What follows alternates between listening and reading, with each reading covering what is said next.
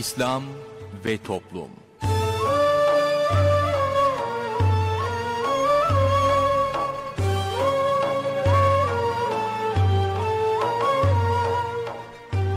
Merhaba sevgili dinleyicilerimiz. Yeni bir programla daha sizlerle birlikteyiz. Bugün ana kumanda masasında arkadaşımız İsmail Sert görev yapıyor. Ben Mustafa Toköz programı sunuyorum. Programımıza şiirlerle menkıbeleri yayınlayarak başlayacağız. Sorun Söyleyelim'le devam edeceğiz. Sorun Söyleyelim'e katılabilmeniz için telefon numaramızı hatırlatıyorum. 0212 454 56 46 0212 454 56 46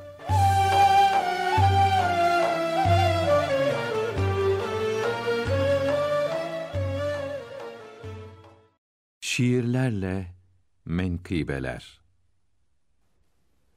Muhammed Masum Faruki rahmetullahi aleyh En büyük iki nimet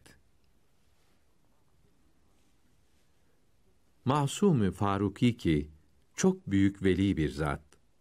Mektubat kitabında şöyle etti nasihat. Eğer iki nimete kavuşursa bir kimse, üzülmesin, hal ve zevk onda mevcut değilse.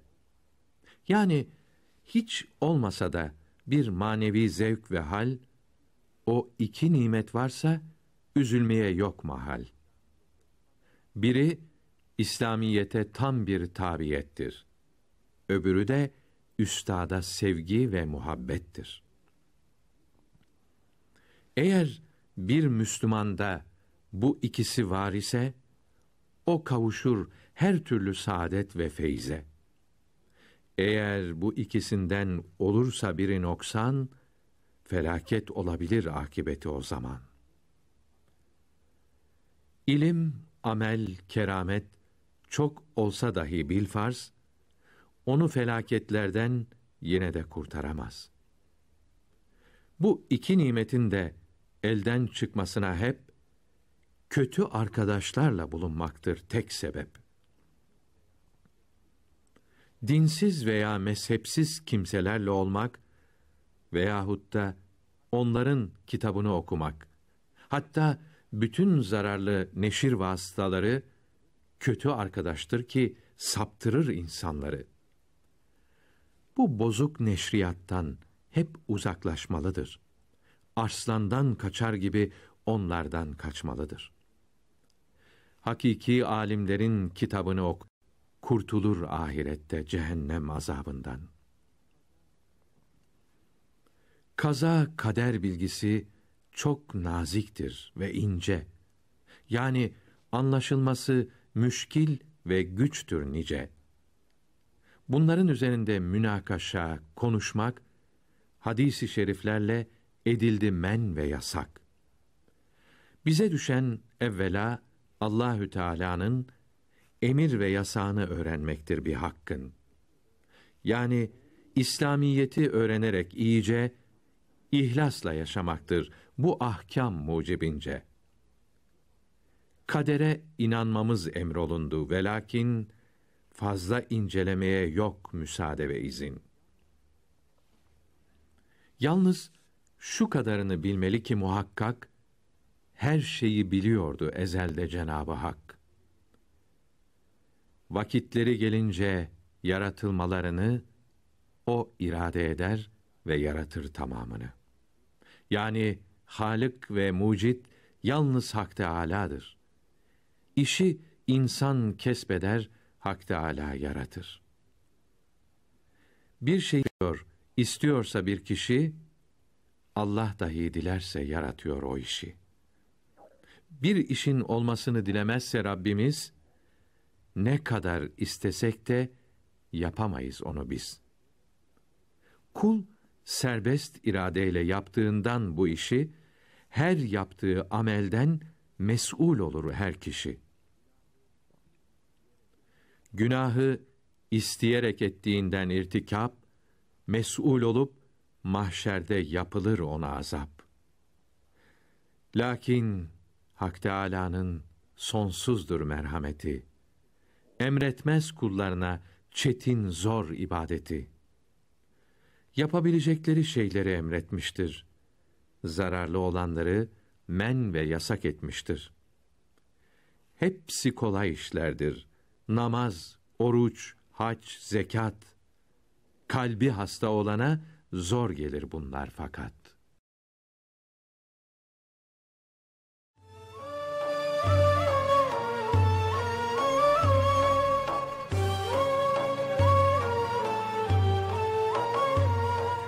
Değerli dinleyenler yayınımıza devam ediyoruz. Sırada sorun söyleyelim var. Osman Ünlü hocamızla birlikteyiz. Buyurunuz hocam. Efendim İslam alimlerinden ve evliya kiramdan olan Muhammed Parisa rahmetullahi teala aleyh buyuruyorlar ki insanlar ölüleri dirilteni büyük bildiğinden Allahu Teala'ya yakın olanlar bunu yapmak istemeyip ölü kalpleri diriltmişlerdir. Talebelerinin ölü kalplerini diriltmeye çalışmışlardır. Doğrusu da kalpleri diriltmek yanında ölüleri diriltmenin hiç kıymeti yoktur. Hatta abes yani faydasız şeylerle vakit kaybetmek olur. Çünkü ölüyü diriltmek ona birkaç günlük ömür kazandırır. Kalplerin dirilmesi ise sonsuz hayata, ebedi saadete kavuşturur. Zaten Allahu Teala'ya yakın olanların vücutları keramettir. İnsanları Allahu Teala'ya davet etmeleri Hak Teala'nın rahmetlerinde rahmetinden bir rahmettir. Ölü kalpleri diriltmesi harikaların en büyüğüdür. İnsanların selameti onların varlığı iledir. Mahlukların en kıymetlisi onlardır. allah Teala onlar ile rahmet yağdırıyor. Onlar sebebiyle rızık gönderiyor. Onların sözleri devadır. Acıyarak bir bakışları şifadır. allah Teala'nın lütufları, ihsanları onların bulunduğu yerden eksik olmaz. Yanlarında bulunanlar kötü olmaz. Onları tanıyanlar mahrum kalmaz buyuruyor Muhammed Parisa rahmetullahi teala aleyh. Bu hikmetli sözden sonra dinleyicilerimizin sorularına geçiyoruz. İlk dinleyicimizle görüşelim. İyi günler efendim. İyi günler. Buyurunuz. Hayırlı yayınlar. Teşekkürler. Evet. Buyurunuz. Hocama rica ediyorum. Çocuklarım için duasını bekliyorum inşallah. Efendim allah Teala sizden de evlatlarınızdan, Allah, sevdiklerinizden de razı olsun. Ahir zaman fitnelerinden muhafaza buyursun. Hayırlı kimselerle karşılaştırsın. Son nefeste de iman selameti ihsan etsin inşallah. İnşallah Allah razı olsun. Hocam benim bir sorum var. Şöyle ben e, duha kılıyorum. E, Yani gücüm yettiği kadar. E, Akşamları da evvalin kılıyorum. Bir farzla, akşam namazı farzıyla. E, Bunları devam etmeye çalışıyorum elimden geldiği kadar. Ama bazen arada bir misafir oluyor, bir şey oluyor. Çok sıkışık bir durumda. Bazen ara ara kılamayabiliyorum. E, Şimdi bunu merak ettiğim bir arkadaşım var. Bu işte o da onlar da sizler gibi Allah razı olsun. Sorduğumda kaza edeceksin dedi. E, Ben şimdi tereddütteyim Allah Allah dedim. Yani ben altı rekat kılıyorum. Hani ortası bu deniyor. E, Şimdi tamam da bu farz değil. Hani geçken bazı arada geç, kılamadıklarımı farz gibi kaza mı edeceğim? Onu merak ediyorum. Peki efendim. De kız- kızımın sorusu var size soracak. E, İyi günler efendim. İyi günler. Alo, hayırlı günler hocam. Hayırlı günler efendim. İlim sahibi bir ablamız geçenlerde bir konu oldu. Bunu merak ettim. Biz annemle yalnız yaşıyoruz. Yani evde genellikle yeğenlerimiz var ama arada sırada geliyorlar. Şehir merkezinde bahçeli bir evimiz var. Tabii e, ikimiz olduğumuz için bir köpek bakıyorum ben bahçede. E, tabii hani üstüme değdiği zaman falan o kıyafetle namazımı kılmıyorum ama e, ablamız şöyle bir şey söyledi. Ya köpeği ellediğin toprakla ellerini kırklaman gerekli. Hani köpeğe değmemen gerekli. Ama ben Hanefi mezhebine yani Hanefi mezhebindeniz. Ee, bunu merak ettim hocam. Yani böyle Tamam. bir şey var mı? Köpek bakmak uygun mu? Hani e, bu, bu yüzden bu soruyorum. Hürmetlerimi sunuyorum. Estağfurullah. Teşekkür ederim. Hayırlı günler ederim. Hayırlı günler. Teşekkürler. Sağ olun. Bir dinleyicimiz daha var. Buyurunuz efendim. Merhaba, iyi günler. Ee, bir dua isteyecektim öncelikle. Hayır kısmet içinde. Allah Teala iki cihan saadeti versin. Ahir zaman fitnelerine muhafaza buyursun. Hayırlı kimselerle karşılaştırsın. Son nefeste iman selameti ihsan etsin. Size de sevdiklerinize de inşallah. Teala. Hayırlı kısmetler versin. Hayırlı nasipler ve kısmetler ihsan etsin. Hayırlı kimseler çıkarsın karşımıza inşallah. Amin, inşallah. Ee, hocam şimdi küçük bir e, arpacık operasyonu getireceğim. Ee, birkaç gün göz çevresine su değmesin deniyor. Bir de bir hafta boyunca işte göz içi krem veriliyor. Ee, onda da hani e, yağlı bir krem. Dolayısıyla yine bir hafta boyunca göze e, su değmiyor gibi göz çevresine. Ee, Maliki'yi taklit ediyorum. Nasıl yapmam gerekiyor? Peki efendim. Tamam, kolay gelsin. Teşekkürler. Bir dinleyicimiz daha var. Buyurunuz efendim. Hayırlı yayınlar hocam. Teşekkür ederiz efendim. Allah razı olsun. Buyurun. Yayında emeği geçen herkesin Allah razı olsun. Hepimizden inşallah Teala amin. Öncelikle ailem, evlatlarım ve torunlarım için duanızı istiyorum. Allah Teala iki cihan saadeti versin. Ahir zaman fitnelerinden muhafaza buyursun. Hayırlı kimselerle karşılaştırsın. Kendi dinine de hadim eylesin inşallah. Amin inşallah Allah razı olsun. Ya benim kurban hakkında olacaktı sorum. Biz e, dört kişi eşim, ben, oğlum gelinim büyük hayvan kesmek istiyoruz. Bu yedi hissi oluyor ya büyük hayvan. Mesela biz bunu yediye, altıya veya yediye tamamlasak oğlum hani e, çocuklarının akikası için biz ölmüşlerimize göndermek için bu öyle kessek etini nasıl paylaşabiliriz? Yani ortadan ikiye bölsek olur mu? Yoksa altı yediye mi bölmemiz gerekiyor? Onu merak ettim. Hani Peki efendim. kaldım. Tamam. Oldu efendim. Oldu. Peki. Oldu. Teşekkürler, hayırlı günler. Bir dinleyicimizin de şöyle bir sorusu vardı hocam. Bu hayır hasenat yapıyor, iyilik yapıyor. Ee, biz de Huzura Doğru programında bir ara bir şey anlatmıştınız. Hani öncelikle çoluk çocuğun borcu falan varsa hani onlara öncelik verilmelidir gibi. Bunu dinlemiş e, dinleyicimiz. E, benim diyor oğlumun borcu var. E, ya beni de çok ilgilendirmiyor diyor yani onun borcu. E, zaten hani onu da sormuş değil borcu yaparken. E, ben diyor işte e, kitaplar içinde olsa ne bileyim İhlas Vakfı'na olsa zaman zaman böyle hayır hasenat yapıyordum. E, bunları yapmayacak mıyım şimdi oğlumun borcu var diye diye Yapacağız. soruyor. Şimdi kitaplarda anlatılırken buyuruyor ki e, borçlu olan kimsenin e, ekmeğin yanında sirke yemesi bile İmam Gazali Hazretleri'nin ifadesi saadet ebediyede var bu. Lükstür buyuruyor. Bir an önce çünkü borcu ödemek farzın. Ancak yine saadet ebediyede anlatırken buyuruyor ki bir kimsenin e, gayrimenkulleri de var. Tarlası var, bahçesi var, evi var. Yani o borcu karşılayacak elinde malı var. Malı var. Ee, bu sebepten dolayı böyle olan kimseler bu acil borçlar için vakti gelmiş hemen ödemesi gereken bir taksitli borçlar var mesela. O taksitli borçları da taksiti geldiği zaman ödeyebiliyorsun. Diyelim ki maaş çalışıyorsun. E gittin bir şeyler aldın. Ayda bin lira bin lira. Ama 50 bin liralık bir şey aldın. Borcun var hakikaten. Tamam kurban nisabında ve zekat nisabında bu borçlar düşülüyor düşülmesine. Fakat e, şimdi dinleyicimizin dediği şekilde yani sadaka veremeyecek miyim? Hayır hasenat yapamayacak mıyım? Yaparsın buyuruluyor. Niye? Vakti gelince o borcu ödeyebiliyor mu çünkü? Ha, ödeyebiliyor. Onun karşılığı var. Ve bu e, acil borçlar için adam kapıya dayanmış ama sen hala daha milleti çağırıyorsun yemek veriyorsun mesela. Çıplakları giydiriyorsun. Ya adam demez mi ya? Borcunu öde. Borcunu öde diye. Mesela benim sana borcum var. Ben her gün sana bir demet çiçek getiriyorum. Birincisinde kabul ettim böyle söylemedim bir şey. Hadi yaşça büyük yaşlı bu adam üzülmesin. diye. İkincisinde hmm, hmm falan dedi. Üçüncüsünde hep dersin ki ya abi senin bu çiçeklerin parasını topla da benim borcu öde. Dedirtiririm yani değil mi? Yani sonra patlatırım yani seni. Normalde öyle olur. yani. Hadi bir iki. E Şimdi dışarıda İsmail Bey diyor ki yok diyor. Mustafa abim diyor. Yani o borcu hediye eder.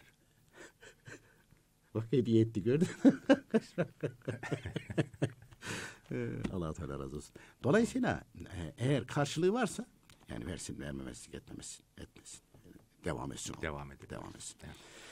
Şimdi efendim e, dinleyicilerin suallerine geçmeden önce bize bir su- e, şey e, maille bir sual geldi de e, Din İslam Koma yazmış. E, Kurban Bayramı birinci günü kurban kesebilir miyiz? Bilmiyorum. Niye bilmiyorum? Bilmiyorum. Daha önce de bir tanesi yazdıydı oradan gelelim falan. Sizin dedi Türkiye gazetesi takvimi var dedi. Evet dedim var. E onu tavsiye de ediyorsunuz. Evet ediyoruz.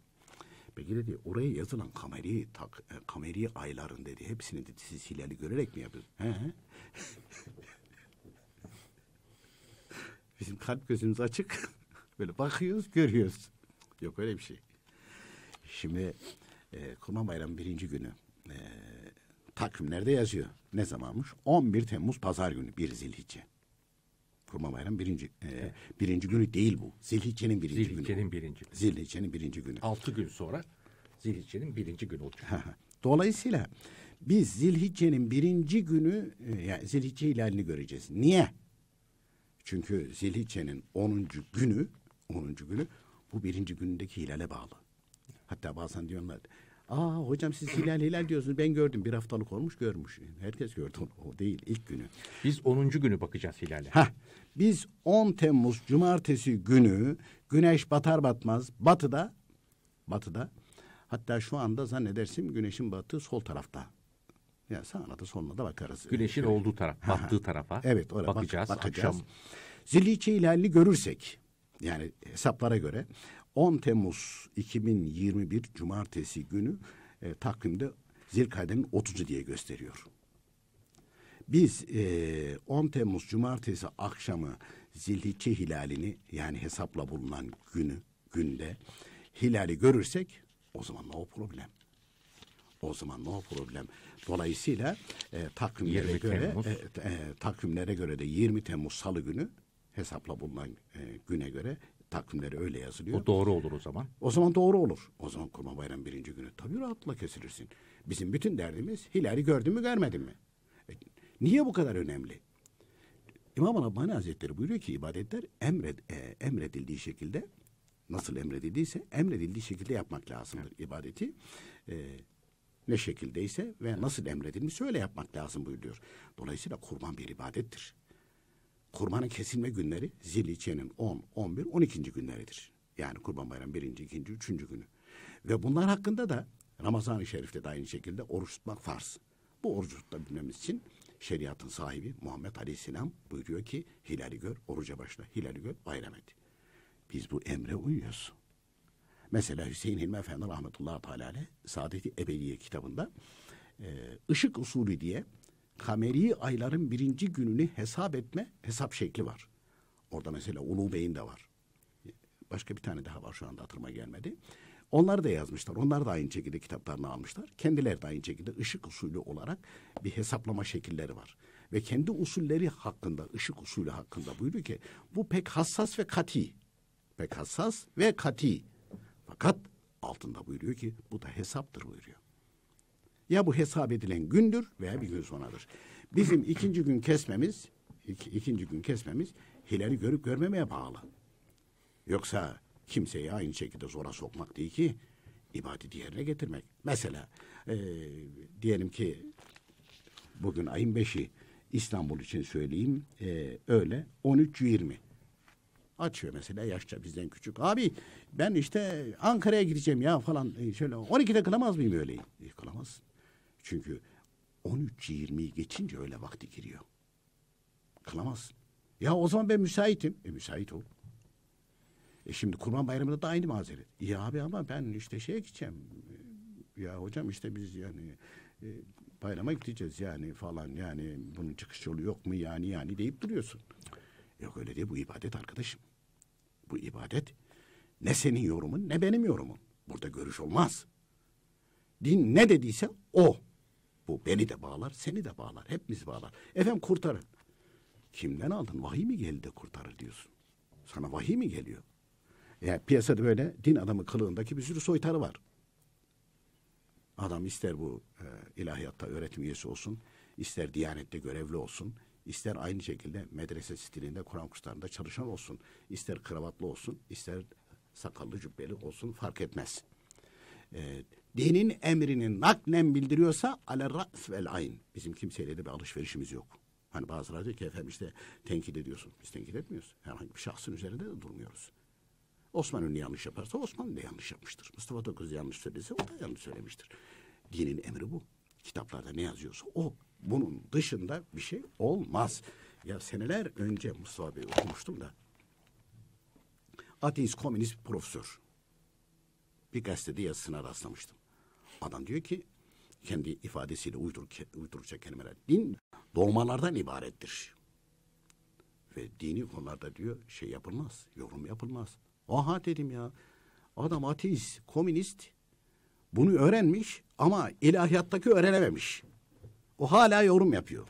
Dinin emirleri konusunda. Bana göre deyip duruyor. Bana göre deyip duruyor. Ya bir komünist anlamış meseleyi. Dinde beş vakit namaz. Beş vakittir bu. Ya kabul edersin ya reddedersin. O ayrı bir mesele. Evet ben şunlar çok hoşuma gitti İslamiyet'in. E, bunları alayım öbürlerini almayayım falan. Yok öyle bir şey. Bütündür o. Ya hep ya hiç. Ya hep ya hiç. Ha kabul ettin. Bir şarkıcı bir kadın da diyor. Bir ilahiyatçı profesöre diyor ki niye eğip büyüyorsunuz? Hem de televizyonda. He, niye eğip büyüyorsunuz diyor ya. Bu işin doğrusunu söyleyin. Ben diyor doğrusunu bileyim. Yapıp yapmamak bana ait diyor. Haramsa haram değil.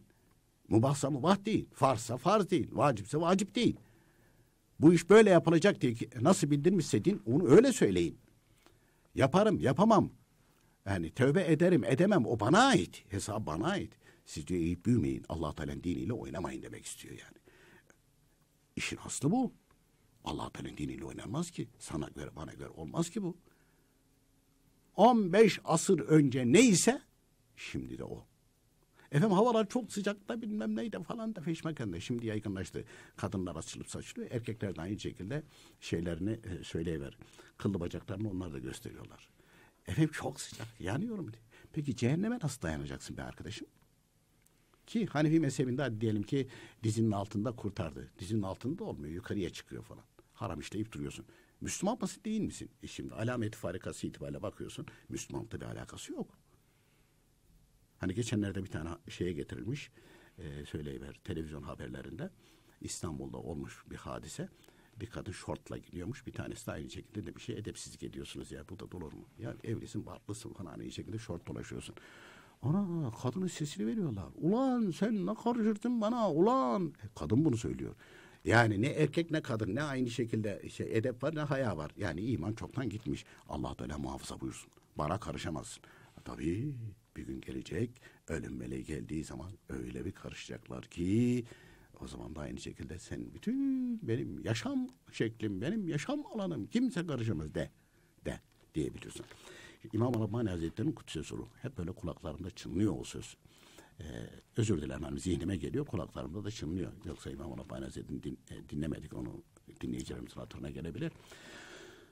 Bu zat buyuruyor ki yalancılığıyla maruf yani yalancılığıyla tanınmış bir kimse tehlikeli bir haber getirirse akıllı kimseler bu yalancı kimsenin getirdiği tehlikeli habere karşı ihtiyatlı davranır. Yani adam yan- yangın var dedi, sel geliyor dedi. Yan- yangın var dedi, sel geliyor dedi. Bomba var bu binada dedi falan. Ya akıllı oldukları için adam havadakinde bile ihbar olduğu için tayyareyi İndiriyorlar indiriyorlar yani. değil mi? Akıllı kimse böyle hareket eder. Ondan sonra devam ediyor bu saat. 124 binden fazla peygamber gelmiş. Aynı asırda gelmemişler. Hepsi aynı şeyi söylemiş. Ölümden sonra hayat vardır. Kabir hayatı vardır. Mahş dirilmek vardır. Mahşerde hesap vardır. Mizanda herkesin yaptıkları sorulacak. Sırattan geçilecek. Sonsuz olarak iki yer yaratmış Cenab-ı Hak. Cennet, cehennem. Başka yer yok. Açık net bir şekilde. E akıllı kimse tedbir alır ya. Hani meşhur zaman zaman anlatıyoruz ya Hazreti Ali radıyallahu anh hazretlerine bir dehri ateist gelmiş. Ben demiş inanmıyorum. Bunun üzerine Hazreti Ali demiş ki ya bak demiş günde ben beş defa abdest alıyorum, gusül abdest alıyorum. Zina etmiyorum, içki içmiyorum, yetimi gözetiyorum, fakiri gözetiyorum, yalan söylemiyorum, gıybet etmiyorum, dedikodu yapmıyorum. Ben demiş böyle yaşarsam bir zarar olur mu? Hani diyorsun ya sen yok ya ahiret mahiret falan filan. Adam düşünmüş o zamankiler de mertmiş ha. Yok demiş ya ne zarar olacak demiş. Hatta demiş itibarlı olursun. Herkes sana saygı gösterir. E demek ki demiş ben böyle yaşarsam yani dünyada bir zararım olmuyor. Yok olmuyor demiş. Ya benim dediğim gibi ise mahşer varsa ölümden adam ondan sonra başını iki elinin arasına alıyor. O zaman diyor ben yandım. Tabii. Peki efendim ikinci bölümde devam edeceğiz.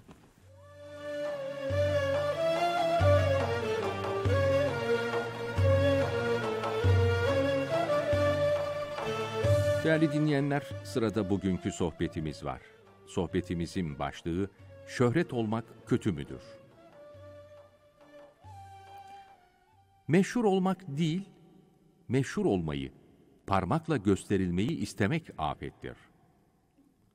Bununla beraber din veya dünya işlerinde meşhur olan kimsenin afetten kurtulması zor olur.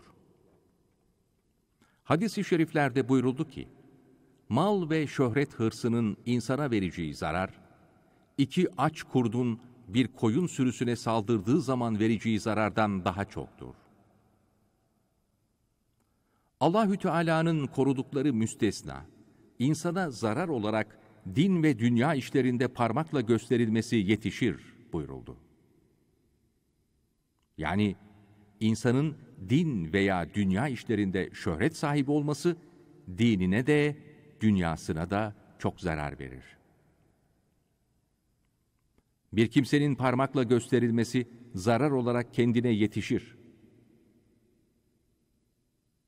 Ya Resulallah, hayır işlerde parmakla gösterilmek de böyle midir diye sual ettiler.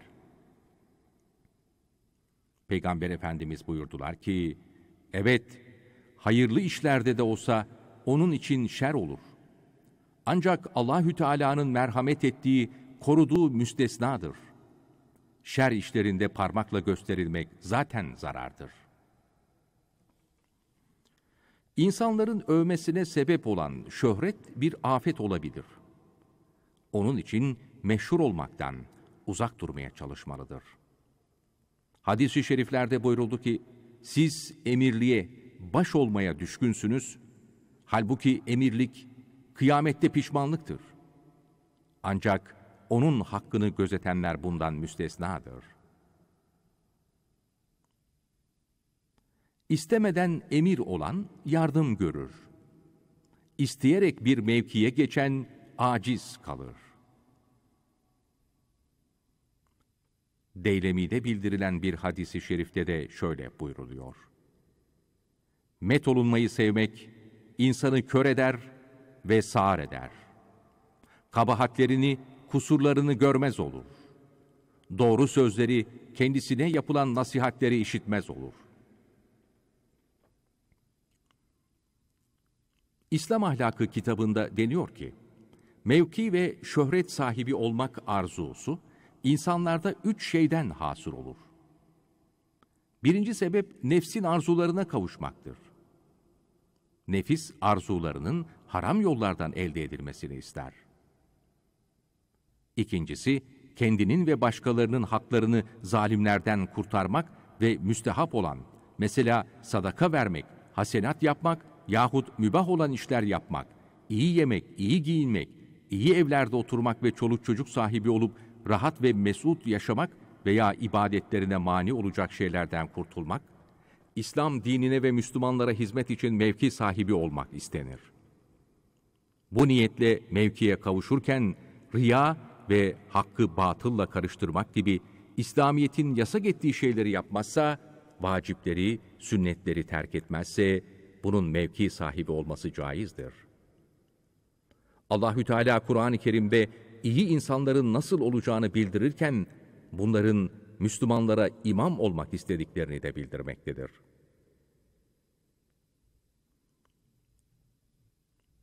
Üçüncü sebepse nefsini eğlendirmektir. Nefsi maldan olduğu gibi mevkiden de lezzet almaktadır. Arada İslamiyete uymayan işler bulunmazsa nefsi lezzet aldığı şeye kavuşturmak haram olmazsa da takvanın, himmetin az olduğunu gösterir. Mevki elde ettikten sonra insanların gönüllerini kazanmak için riya, müdahane ve gösteriş yapmasından korkulur.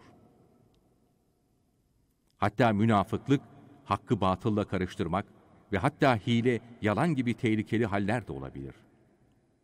Helal ile haram karışık olan şeyi yapmamak lazımdır.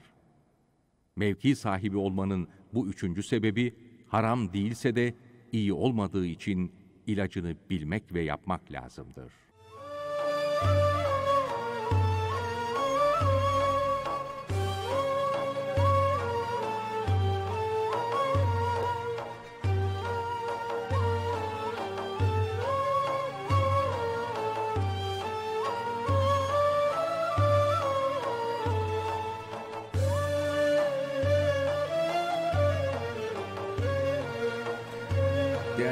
dinleyenler yayınımıza devam ediyoruz. Sorun Söyleyelim'in ikinci bölümüyle sizlerle birlikteyiz. Buyurunuz hocam. Efendim dinleyicimiz e, ben de elimden geldiği kadar duha evvabin namazlarını kılıyorum dedi. Hani kaza namazları da kılıyorum dedi. Yani bittirmiş herhalde kaza namazı yok. E, fakat dedi bir tanesi dedi ki dedi yani dedi bazen dedi mesela öyle durumlar olur ki kılamıyorum dedi. Aa o kılamadıklarını kaza edeceksin dedi dedi. Ben de öyle bir şey hatırlamıyorum. Efendim sadece farz ve vacip olanlar vaktinde kılınmazsa bunları kaza etmek farz ve vaciptir. E, beş vakit namazın sünnetleri dahil olmak üzere bütün aynı şekilde teheccüd, duha, evvabin bunların hepsi nafile namazlar statüsündedir. Vaktinde eda edildiği zaman sevap olur. Eda edilmezse günah olmaz. Kaza etmek de lazım değil. Bir tek beş vakit namazın sünnetleri içerisinde bir tek sabah namazının sünnetine Hanefi alimlerden vacip makamında buyurmuşlar. Mesela bugün sabahleyin sabah namazına uyanamadın. Kuşluk vaktinde sünnetiyle beraber kaza edilir. Öğle vakti girince onun da sünneti kaza edilmez artık buyuruyor. Peki nasıl niyet edecek? Niyet ettim bugün kılamadım sabah namazının sünnetini kaza etmeye. Niyet ettim bugün kılamadım sabah namazının farzını kaza etmeye. Artık eda değil. Güneş doğunca sabah namazının vakti bitiyor, kazaya kalıyor. Şey, e, şimdi mesela nafile bir orucu e, kendisine adadı ve vacip duruma getirdi. Bunu yapması gerekiyor artık değil mi? Kaza etmesi Tabii, gerekiyor. Şimdi bu söyleyen acaba böyle bir şeyden dolanarak mı söyledi? Sen bunu her zaman kılıyorsun, kendine iş edinmişsin. E, kılmazsan işte kaza etmen gerekir falan diye acaba öyle bir şey Yorum yürüt- yapmış. yürüttü? Akıl yürüttü? Kend- kendine göre aynı şekilde yorum yapmış falan. Hiç alakası yok. İşte zaten hani girişte de anlattık ya nakli bırakırsan böyle abuk subuk söylemeye başlarsın artık. Millet de zora sokarsın. Bak bir ilim sahibi ablamız daha varmış. İlim sahibi ablamız çok. Ee, diyor bi- bizim diyor bahçemiz var diyor. Bahçede köpek besliyoruz diyor. E köpeği zaman zaman elimizde yiyor şey yapıyor falan. E, demiş köpeğe deyince ilk defa yıkaman lazım. Biz de Hanefi mezhebindeyiz. Efe- Efendim Hanefi mezhebinde ve Maliki mezhebinde köpek necis değil. Elbisene de sürünse, eline de değmiş olsa o hal ile gitsen yıkamadan namaz kılarsın. Şafii mezhebinde köpek necistir. Görünürde bir şey varsa yıkayabilirsin. E, tabii yıkayabilirsin. O ayrı bir mesele. E, peki efendim e, şey olsa e, söyleyiver. Ya bu erkek olsa e, namaz kıldırabilecek de yapıya sahip olmuş olsa diyelim ki köpeği elledi. Köpek aynı şekilde e, pantolonla falan da sürtündü. E, üç beş kişi bir araya geldiler. O üç beş gün içerisinde e, bir veya ikisi diyelim ki Şafii mezhebinde. Onlara imam olamaz o. Hele onlar bunun bu halini gördülerse Arkasında namaz kılamaz. arkasına namaz kılamazlar. Arkasına namaz kılamazlar. Yani buna da dikkat etmek lazım. Onun için de din görevlilerin, hele camide vazife almış olanların dört mezhebinde abdesti, guslü, namazı bozan hallerinden sakınması lazım. Sakınması lazım. Şeyde bir arkadaşım birisi anlatmıştı. Doğu'da e, kendilerinin bir köyü var. Oraya gidiyor. Genç bir imam hatip mezunu gelmiş. imam. Ee, bu işte e, hanımıyla falan aynı şekilde böyle cemaat görmüş. Hanımı bunun eline değmiş. Bu da Baldırköy'de camiye gitmiş. Köy Şafii. Bunun arkasına namaz kılmıyorlar. Bunun abdesti kırıldı diye. O tabiri kullanarak abdesti kırıldı. Abdesti yok yani. Şafii mezhebine göre yok. Bozuldu çünkü. Tabi arkadaş da gidince ona dert yanmış. Ya demiş benim arkama gelip namaz kılmıyorlar. Bir sordum soruşturdum demişler onun abdesti yok. Onun abdesti kırıldı. O hanımıyla aynı şekilde hanımıyla e, e, eli değiyor geliyor camiye. E, o zaman öyle yapınca her zaman o öyledir. Diyorlarmış gelmiyorlarmış falan. E, çocuk imam hatibi bitirmiş de ke- e, Hanefi mezhebini bilmiyor ki Şafii mezhebini nereden bilecek? Yani ya bu nasıl bir sistemse bu. Nasıl bir sistemse. Sen imam hatibi bitirmiş çocuğu gönderiyorsun doğuda bir köye. Ya Şafii mezhebinde olduğu yani ne biçim bir devlet, ne biçim bir anlayış, ne biçim bir sistem. Osmanlı öyle değildi. Osmanlı mesela Şafii mezhebinin, Maliki mezhebinin, Hanbeli mezhebinin çünkü Kuzey Afrika, Orta Doğu Osmanlı e, e, topraklarıydı, Hakimiyeti. hakimiyetindeydi. Oralara mesela Maliki mezhebinin yoğunluğunu Maliki mezhebinde bir imam tayin ediyor. Veyahut da oradaki medreselere destek vererek yetiştiriyor. İmamların oradan aynı şekilde yapıyor. Dolayısıyla hatta eee, genelde mesela orada e, amir pozisyonda olanları kendi milletinden yetiştirip onları koyuyor. Çünkü o kendi milletinden birisi olursa onun dilinden daha iyi anlar. Ya sen gidersin sana yabancıdır.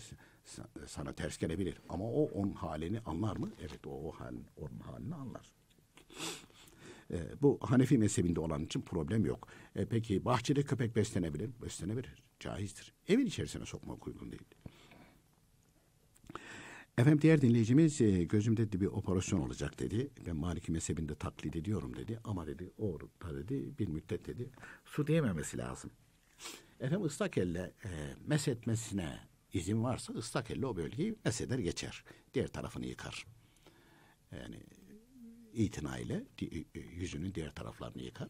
Diğer uzuvlarını da aynı şekilde yıkar. Abdesti olur. Efendim e, orasını ıslak elle e, yıkamak da zarar verirse onu da terk eder. Özür dilerim ıslak elle meshetmek de zarar verirse onu da terk eder buyuruyor.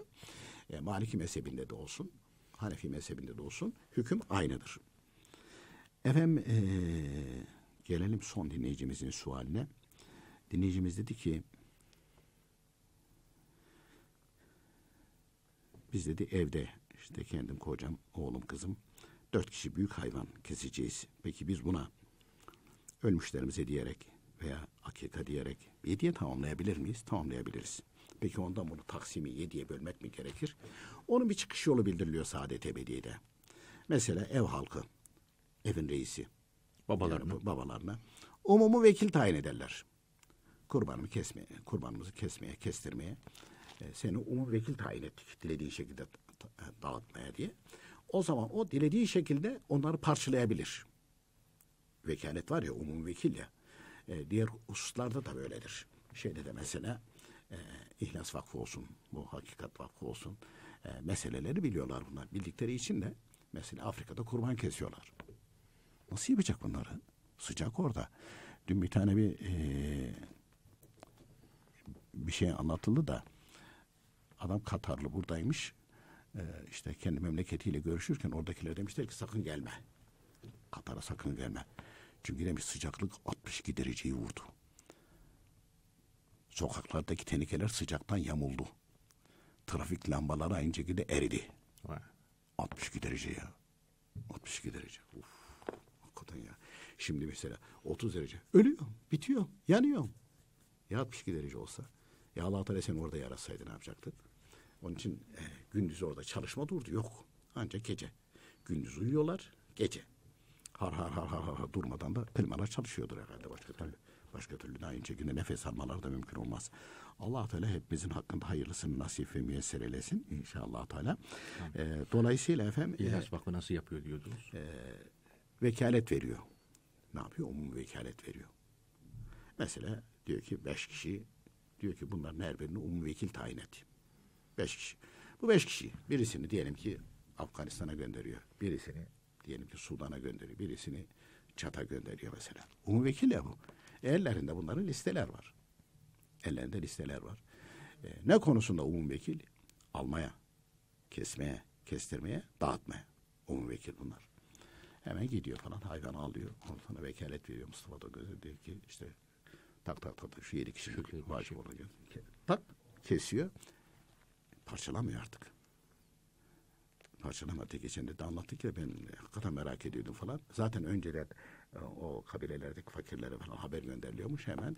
Onlar bekliyorlarmış zaten Onlar orada. bekliyorlar. Hemen daha e, yüzmeden müzmeden falan al diyor sana. Patır kütür onlar götürüyor. Artık onlar parçalıyor bilmem ne yapıyor. Kendileri e, bir hayvanı götürüp e, Kullanıyorlar. Kullanıyorlar. Ha- ha- hallediyorlar. Başka türlü hakikaten oralarda zor.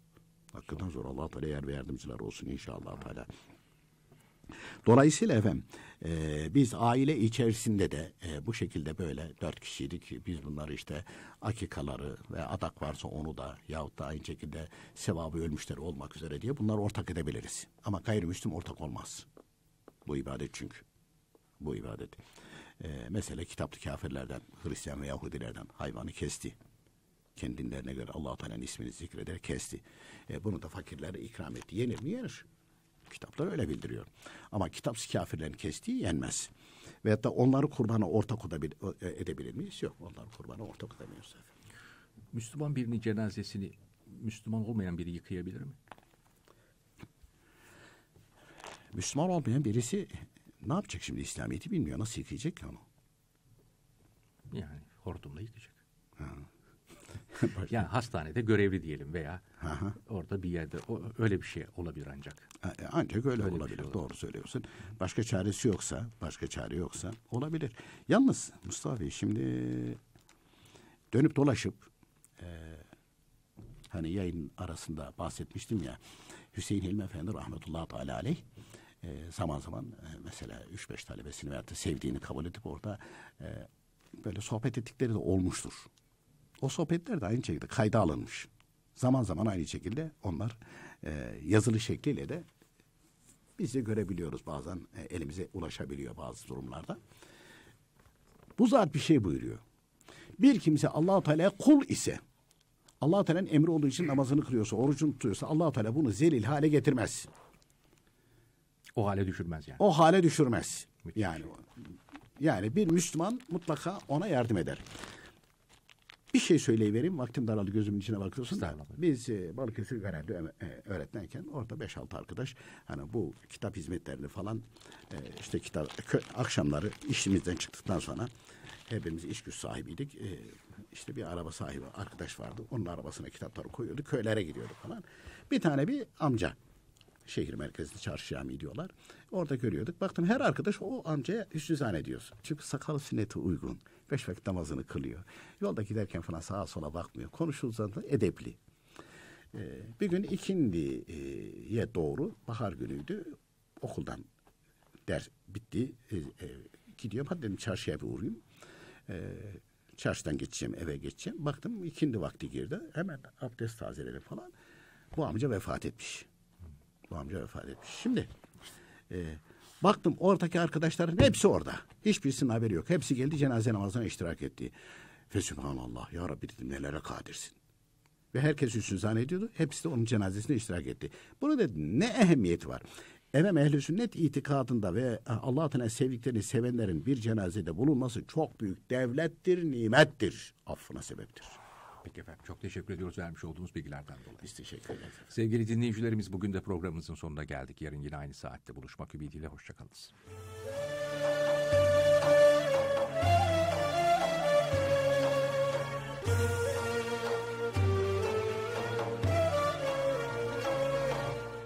İslam ve Toplum